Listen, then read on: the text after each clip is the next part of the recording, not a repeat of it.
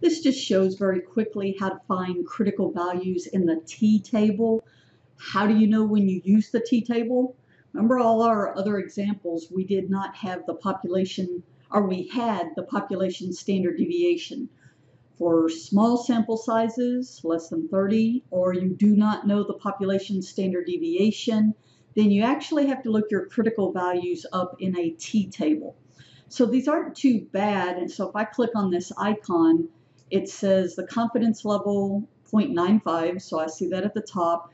The sample size 18, you have to be careful. This is the degrees of freedom, which is one less than the sample size. So would be 17, and we would get 2.110, 2.10 hundredths, thousandths. Um, the actual, if you see an actual table, sometimes they don't have that level of confidence, but that's okay because if it's a confidence interval that we're interested in, that would be area in the two tails so two tails, if it's 95%, would be 5%. And as you can see, we had what sample size of 18. If I go to degrees of freedom 17, I get the same answer.